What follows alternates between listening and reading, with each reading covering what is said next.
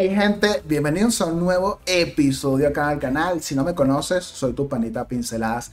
Gente, en el video de ayer dije que no era apto algunas cositas para los chillones. Me refiero, me refiero a la gente que se queja de que tengo ese titán, de que mi cuenta está chetada, ¿sí? Ojito con eso, no a los demás. Hay gente que se pone a decirme, pinceladas, no sé qué, es un vendido, bla, bla. Bueno, a esa gente chillona es que yo me refiero. Hoy te recomiendo otra vez el canal de Comande Gamer.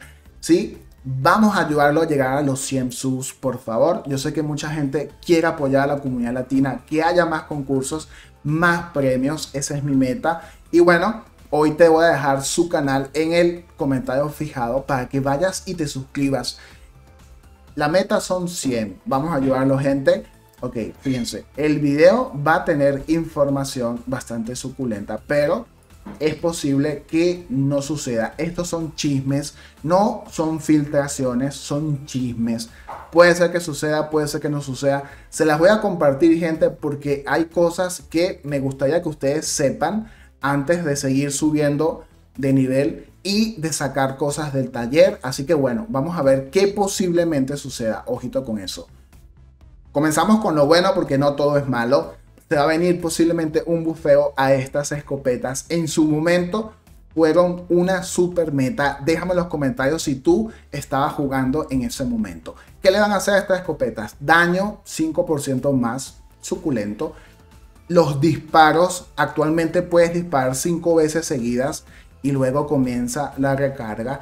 Va a pasar de 5 a 8. Bastante, bastante suculento.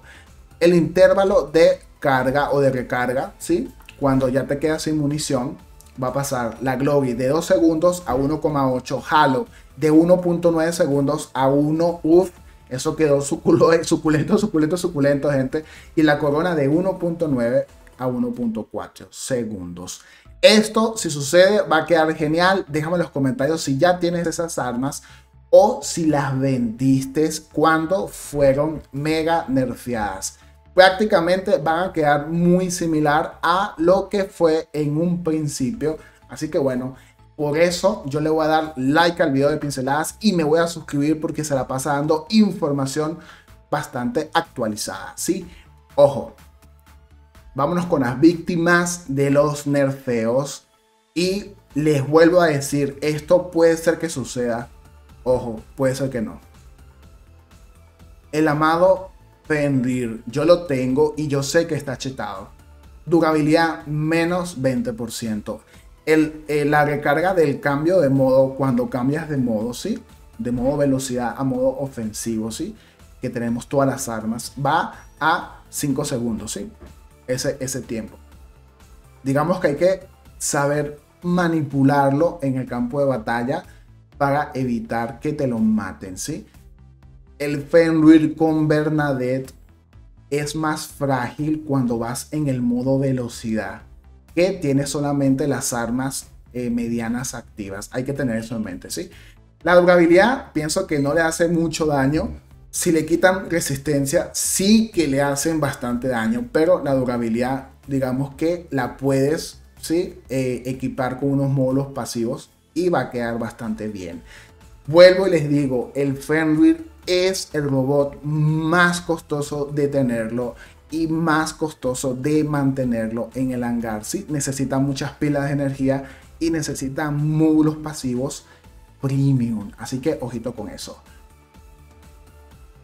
El Fafnir. Yo sé que el Fafnir nadie lo, nadie lo tiene, poca gente lo tiene y van a decir, esto me vale un saco de huesos, pero yo les voy a dar la información porque si queda así, te va a ayudar a saber cómo atacarlo, cómo destruirlo. Durabilidad 5% más le hace falta ya que volando es muy fácil de matar ¿sí? cuando tiene las armas apropiadas. Velocidad de, habilidad, velocidad de vuelo 15% menos.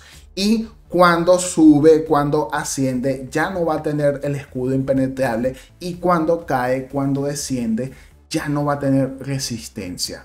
Déjame en los comentarios si piensas que esto hacía falta. Este, este robot está muy chetado en esos aspectos. Es muy difícil darle si no tienes armas que fijen objetivo. Los misiles y eso, las lanzallamas, es muy difícil darle. Así que esto digamos que lo va a poner bastante bien balanceado. Déjame tu opinión en los comentarios, qué piensas de estos balances hasta el momento.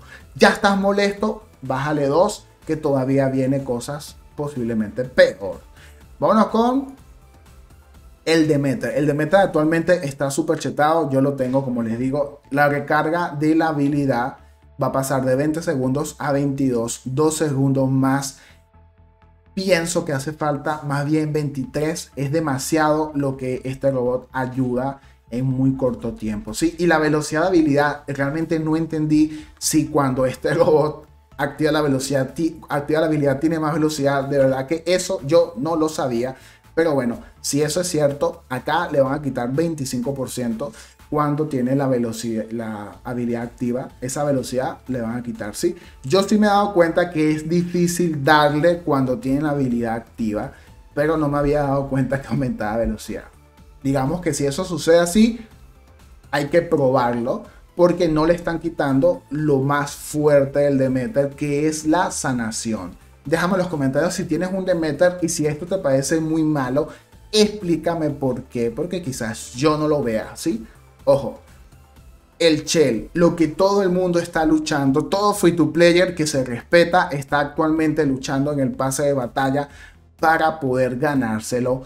Ojo, puede ser que esto suceda, puede ser que no suceda, así que te lo voy a contar aquí mismo. Durabilidad, menos 20%. Alcance de la habilidad, sí, la explosión de 100 metros a 75, igual que el Hellborner la velocidad base a nivel 1, ojito con eso, de 33 va a pasar a 30 kilómetros y la durabilidad de los escudos menos 20%. Opinión de pinceladas. Los escudos no hace falta que le tumben la durabilidad, mi opinión. Es muy fácil destruirlo, ¿sí? Cuando estás en Liga Campeón. Pero ¿Qué pasa en ligas bajas? Es bastante difícil quitarle esos escudos si no tienes lanzallamas, si no tienes misiles y si no tienes un Auyum prácticamente.